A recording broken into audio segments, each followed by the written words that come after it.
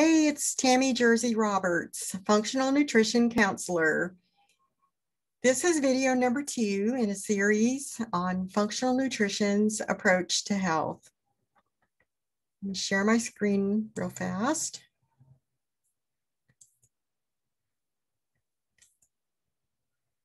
Functional nutrition's approach to health. Again, this is video number two.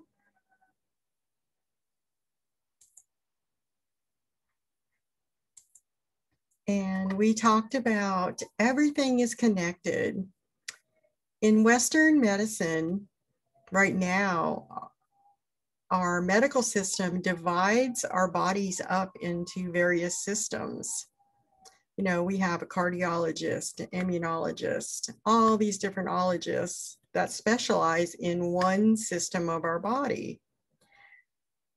Well, in functional nutrition, we do look at the systems, but we look at them as one big ecosystem and how they work together, how they're supposed to work together, and what we can do to help them work together better. How one system affects the other systems. So everything is connected, and it's very difficult just to look at one system and try to make tweaks and changes there and people you know get medications that are for one system but they affect and maybe sometimes even cause symptoms in other systems. Number two we are all unique. Yes Thousands of people have the same diagnosis, but they didn't get there the same way, and they're not going to come out the same way. In functional nutrition, we work with people on a one by one personalized basis so that we can figure out and help assess and recommend what is going to help that person the most and what we should do first.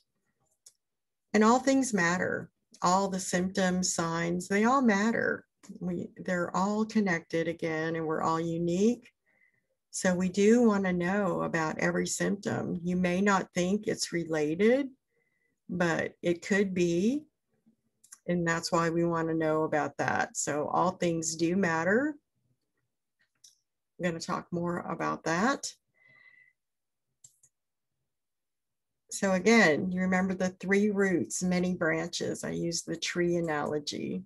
So if you can imagine a tree, all the branches, these are the signs, the symptoms, the diagnosis. And this is what Western medicine and even a lot of other alternative health practitioners, this is what they focus on. They want to shut down the symptoms. But in functional nutrition, we go to the roots of the issues and we solve it in the roots, in the soil, in the environment that those symptoms are coming up in.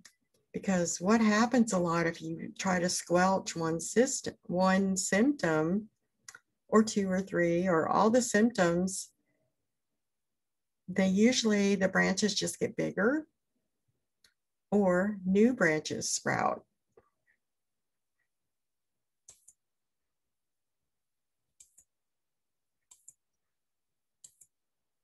So again, that's the three roots and many branches approach. And the three roots that we talked about are your genes. Yes, we're born with our genes, but we can influence if they express negatively or positively, digestion and inflammation. And this video is going to be a little bit about genes and what you can do to positively or negatively affect how your genes express. So yes, sometimes we do have a genetic predisposition for certain illnesses.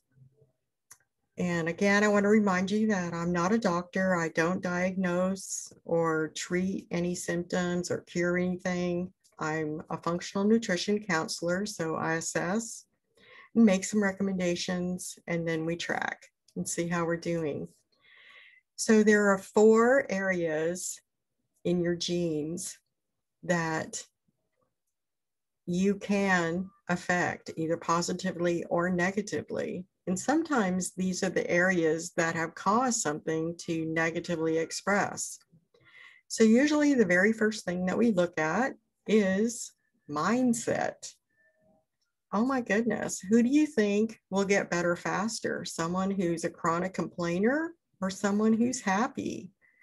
And we try to look at everything in the positive light that we don't want to own stuff if it's something that we want to let go of. We want to own that we're a whole human being, that we're meant to be healthy and happy and thriving. And if our mindset is bringing us down, then we need to shift it.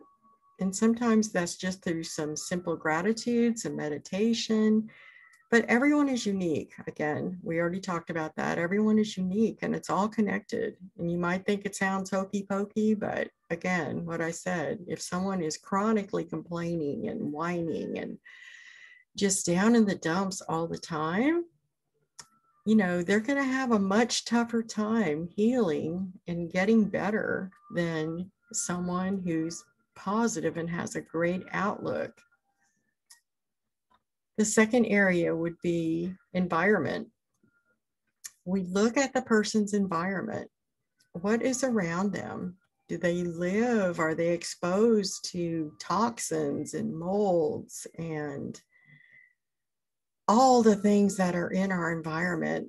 And what do they have control of in that environment? Because just the air we breathe, depending on where we live, can be loaded with toxins and they could be affecting you. It could be affecting everyone in that environment. But there are a lot of toxins and things in our environment that we do have control of. And, you know, we look at everything in each person's environment to see what can be shifted and movement. Yes, it's important that we move. And I'm not recommending hard exercise for everyone. That again, this is set up for unique individuals that depending on where you're starting from, you're not going to go to the gym and work out like a maniac because it's just going to make you worse. It's going to make you worse. The stress is going to be horrible. And it may be something gentle, like maybe some swimming, walking. You know, if you can sit in a chair and do some stretches. We start people where they are. And that is what's unique about functional nutrition that we don't just throw a pat protocol at someone, you know, and if you're older now, you're going to do different kinds of movement than you did maybe when you were 20 and you had, you know, whole different physique and everything was different then. So it just it depends on our goals and your goals and you know what's going on and where you're starting from. And again, food. I did say the word nutrition, but our food can have a huge impact on our genes and of course, all of these are connected too, because you don't want to have foods that are loaded with toxins, pesticides, and herbicides, and other chemicals that are on the food. But it's not always that. It could be that, you know, you're eating processed food, sugar, sodas, chemicals. And we again we look at where someone is starting from. So you know there may be someone who's on a super healthy diet which is i'm not going to say it's unusual but they're on a super healthy diet but it isn't healthy for them. They could have food sensitivities allergies intolerances. And so we assess we recommend and we track are there any symptoms coming up when you're eating certain foods? Do you have gluten sensitivities? And there could be a myriad of other things that, you know, it's just something that we look at. and we assess, we recommend, and we track. Just because, let's just say, blueberries are touted as being healthy for everyone, but they're not. You know, they're not always healthy for everyone. And so it just depends on you and your unique biology and chemistry and physiology. And if, you know, you may have a reaction to them now, but say in 30, 60, 90 days, you're fine with them because we've done some things to shift what's going on in your body. And now you can tolerate blueberries and they are actually good for you. So again, I don't want to say it just depends, but everyone is unique. Everything is connected. And again, all things matter. So if you're curious about your three roots and the many branches, I encourage you to download the handout now from the Functional Nutrition Lab, Andrea Nakayama. And she provided the graphics that I used in this presentation go to Tami Jersey Roberts forward slash blog and you can download the handout for free. I really encourage you to get the handout to follow along so you can take notes and you can just keep track of what's going on with you. Thank you so much. You have a great day.